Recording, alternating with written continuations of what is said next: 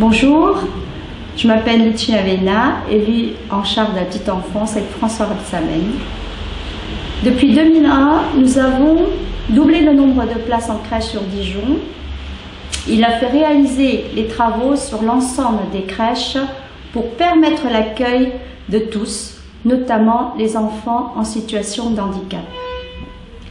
Toujours à l'écoute des Dijonnais, je sais que François Rebsamen va poursuivre cette politique de développement d'accueil de la petite enfance. Son ambition, c'est d'offrir à chaque parent dijonnais la possibilité de choisir son mode de garde. Le 23 mars, pour défendre les parents dijonnais, votez François Rebsamen.